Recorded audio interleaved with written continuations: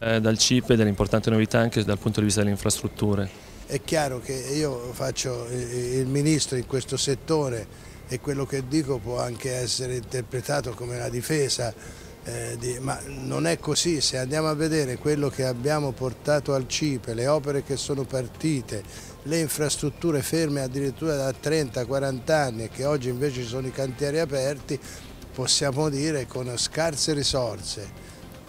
grazie ad un accordo con i privati abbiamo potuto far partire la infrastrutturazione del nostro Paese.